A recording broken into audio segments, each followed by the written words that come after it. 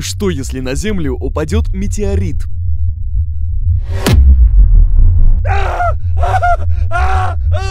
Каждый день на Землю падает более 4 миллиардов космических тел, а если точнее, метеороидов.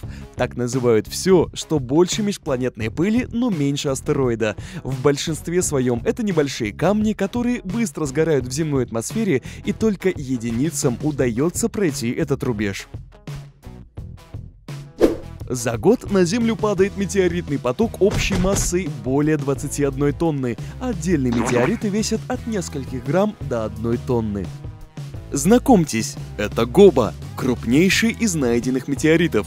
Строго говоря, он упал примерно 80 тысяч лет назад. Это железный гигант весом около 66 тонн упал в доисторическое время, а был найден в Намибии в 1920 году возле Гротфонтейна.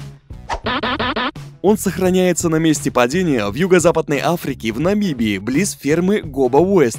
Это самый большой на Земле кусок железа природного происхождения. С 1920 года метеорит слегка уменьшился. Эрозия, научные исследования и вандализм сделали свое дело. Метеорит похудел до 60 тонн.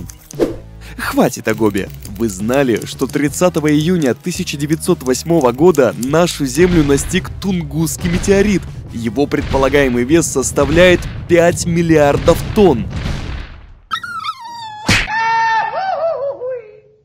Сила взрыва при столкновении с Землей оценивается в 50 мегатонн, что сопоставимо с мощностью царь-бомбы, которая является самым сильным взрывным устройством в истории человечества.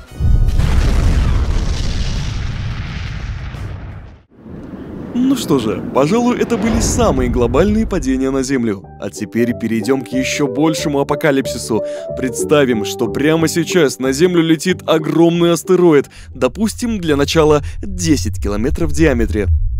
Размер образовавшегося кратера при падении на сушу от 70 до 100 километров, глубина 5-6 километров. Глубина растрескивания земной коры составит десятки километров, то есть вплоть до мантии. Толщина земной коры под равнинами составляет в среднем 35 километров. Начнется выход магмы на поверхность. Площадь зоны разрушения может составить несколько процентов площади Земли. При взрыве облако пыли и расплавленной породы поднимется на высоту десятки километров, возможно до сотни. Объем выброшенных материалов несколько тысяч кубических километров. Этого достаточно для легкой астероидной осени, но недостаточно для астероидной зимы и начала ледникового периода. Произойдут вторичные кратеры и цунами от осколков и крупных кусков выброшенной породы. Небольшой, но по геологическим меркам приличный наклон земной оси от удара до 1,1 доли градуса. В случае интенсивных извержений вулканических газов станут возможны кислотные дожди. А теперь устроим проблему посерьезнее. Увеличим ее на один нолик. 100 километров. Вот это будет настоящая катастрофа. Метеорит входит в атмосферу Земли со скоростью 72 км в секунду. При таких условиях его температура составит 1800 градусов, но до нас долетит лишь десятая часть и мелкие частицы. При столкновении с Землей он уничтожит все в радиусе 100 тысяч квадратных километров. На месте, где упал метеорит, будет огромный кратер. На данный момент самым большим кратером является Вредефорд, диаметром около 300 километров. Он занимает 6% площади ЮАР. В нашем случае астероид будет размером с Австралию. По всему миру произойдут землетрясения в 9 баллов по шкале Рихтера.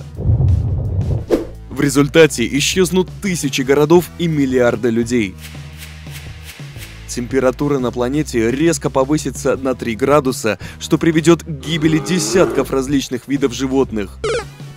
Итог в падении метеорита нет ничего хорошего. Утешает одно, что метеориты диаметром в 10 метров в среднем падают на Землю один раз в 100 миллионов лет. А сколько лет прошло с последнего глобального потрясения Земли? Хей, не забудь подписаться на наш канал и поставить лайк. Пиши в комментариях, насколько сильно ты боишься летающих камней.